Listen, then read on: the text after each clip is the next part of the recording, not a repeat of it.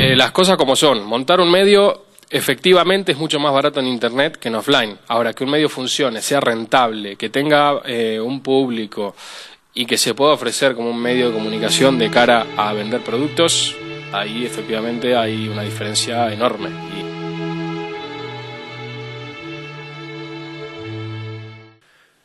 Recibimos hoy aquí en Periodista Digital Televisión a Emiliano Tichauer de la red Culturalia, que es una red especializada en target cultural. Bienvenido, Emiliano. Muchas gracias. La, digamos, la denominación target cultural, eh, la idea es identificar a un segmento no por su consumo ni por sus habituales hábitos, como suele ser eh, tradicional en el medio publicitario, sino por su cultura. Es decir, nosotros nos dirigimos concretamente a nuevos residentes, a inmigrantes que residen en España. Pero claro, en este sentido, eh, uno se pregunta si en los medios tradicionales eh, pues eh, no encuentran no se encuentran reflejados y está siendo el mundo de internet en el que por diversos medios está dando voz y cabida a sus necesidades.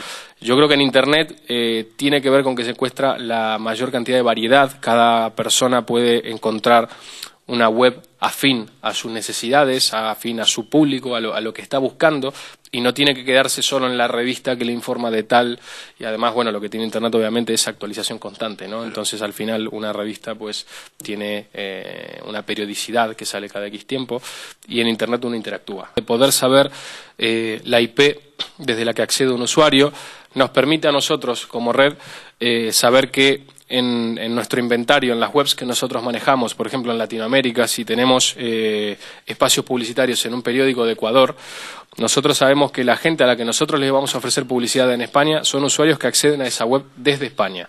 Entonces el impacto es directo, es decir, no hay un mensaje genérico eh, de una por dar un ejemplo, de una revista latina con un mensaje de un anuncio para latinos. O sea, aquí estamos hablando de un anuncio que directamente puede ir a un usuario, un consumidor con un producto para ecuatorianos, con un producto para eh, rumanos, con un producto para cada nacionalidad. ¿El sector empresarial se acaba de creer esto mismo o todavía se encuentran ciertas reticencias? Están empezando a invertir, están empezando a ver que da respuesta, están empezando a ver que hay un consumo, que hay muchos usuarios realmente solicitando productos, solicitando servicios que estén diseñados eh, para sus necesidades.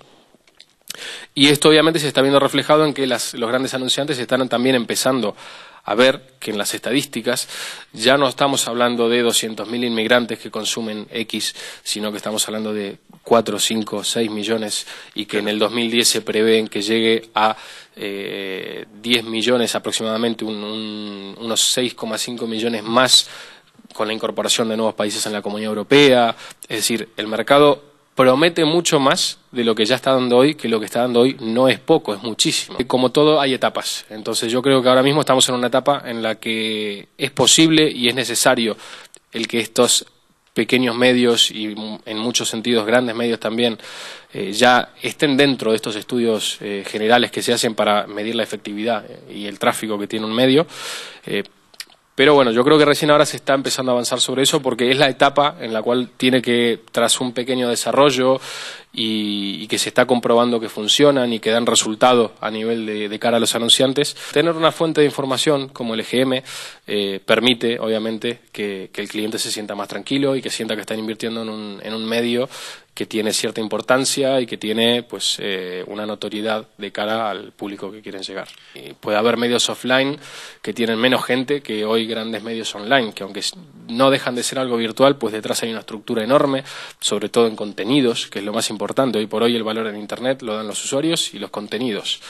Entonces, eh, se puede montar un medio perfectamente. Ahora, que funcione, como te digo, y que realmente sea un producto vendible comercialmente y que tenga una detrás algo que, al usuario le atraiga, eh, hay una diferencia.